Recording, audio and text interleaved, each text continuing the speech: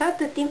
La ricetta che vi faccio vedere oggi è una ricetta semplice, nel senso che è quella della classica frittata alle patate, però diciamo che è più ispirata al, um, alla tortilla spagnola, quella che viene servita come, come tapas, perché io diciamo che ormai qualche anno fa purtroppo sono andata in Spagna con uno scambio culturale, sono stata due settimane a casa di una, di una famiglia spagnola e la mamma era molto molto brava a fare questa, questa frittata, quindi diciamo sono riuscita un po' a carpire i, i suoi segreti. E mm, quindi insomma oggi ve la faccio vedere. Andiamo a vedere come si fa. Allora, prima di farvi vedere il procedimento eh, vi do gli ingredienti per tre persone, come al solito. Allora, vi servono, o perlomeno io uso il curry, il sale eh, per salare sia le uova che le patate ovviamente, una cipolla di cui però utilizzo di cui ne utilizzo solamente metà, due patate di medie dimensioni oppure una patata grossa. Io avevo a casa quelle di col fiorito per cui ne ho approfittato, però comunque la frittata viene benissimo anche con, um, con le patate che compriamo al supermercato e che sono italiane ma di cui non è specificata la provenienza. Poi 5 uova e diciamo che qui il rapporto uova-patate dipende un po' da, come la volete, se la volete più patatosa o più, più, uovosa, nel senso che se magari vi piace sentire di più la patata potete anche un pochino aumentare le dosi, se invece non la, la volete sentire poco o aumentate le uova, diminuite le patate.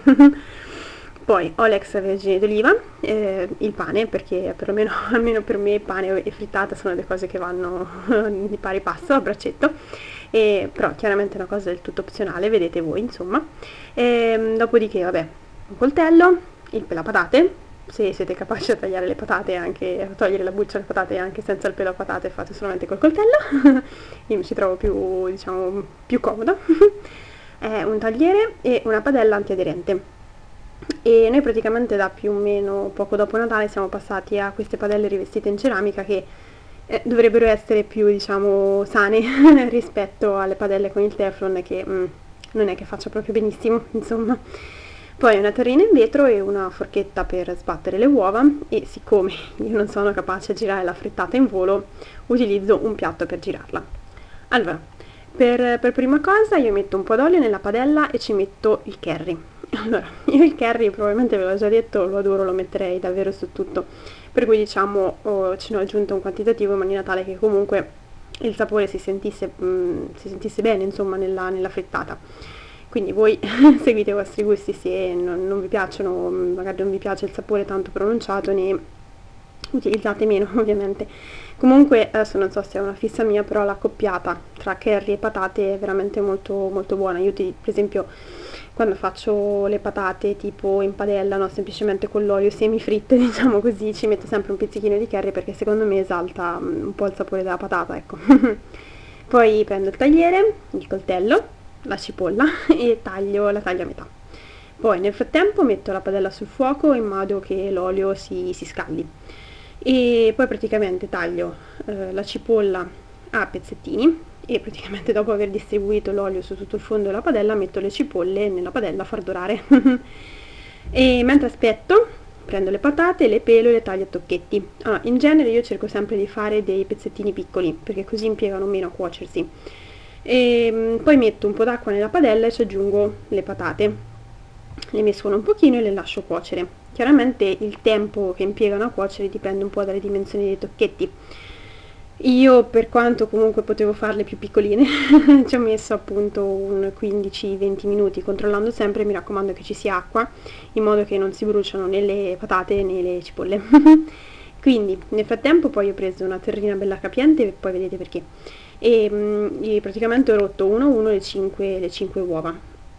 Poi ho aggiunto il sale pizzichino di curry anche qua e ho sbattuto eh, le uova Passati questi 15, quindi eh, passati sì, i 15-20 minuti ho controllato che le patate fossero cotte, le ho salate e le ho versate nella terrina. Poi ho rimesso la padella sul fuoco e praticamente ho mescolato uova e patate nella terrina. Ecco perché adesso capite che vi ho detto serve una terrina, insomma, bella capiente.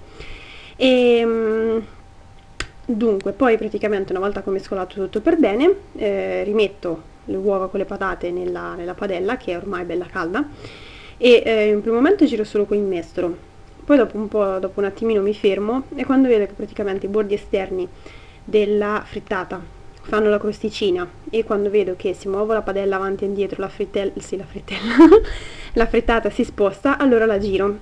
Come vi ho detto io ho proprio diciamo il terrore di girarla in volo perché magari mi va a finire tutto sulla cappa. Quindi praticamente mi aiuto con un piatto che deve avere un diametro diciamo superiore rispetto a quello della padella perché praticamente faccio così. Allora sposto la padella dal fuoco metto il piatto sopra la padella, poi con delle presine perché chiaramente la padella è bella, bella calda, bella bollente, giro, eh, la giro praticamente la padella, poi la rimetto sul fuoco e ci metto sopra la frittata. In questo modo praticamente eh, si cuoce poi anche la parte sotto, che magari non era ancora perfettamente cotta. E in genere un paio di minuti e mm, la frittata è pronta e io semplicemente per, per servirla la rimetto anche nel piatto che ho utilizzato per, per girarla. E a questo punto praticamente tagliate un pezzetto e ve la papate con il pezzo di pane se volete.